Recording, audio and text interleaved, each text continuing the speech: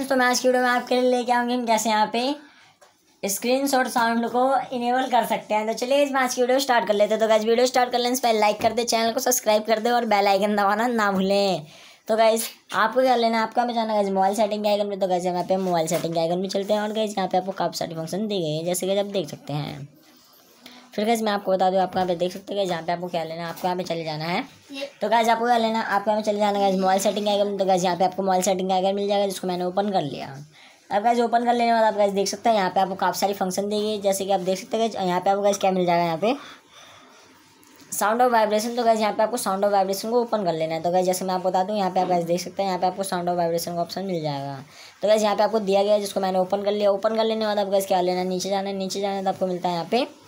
मोर sound का इस पर हमने क्लिक कर लिया क्लिक करने के बाद अब क्या करना है? स्क्रीन शॉट साउंड को इनेबल तो गाइज़ यहाँ पे मैंने इनेबल कर लिया और यहीं पे हमारी वीडियो समाप्त हो जाती है और अगले वीडियो के लिए हमारे साथ बने रहें। अगर आपको वीडियो पसंद आए तो लाइक कर दो चैनल को सब्सक्राइब कर दो और बेल आइकन दबाना ना भूलें। Thank you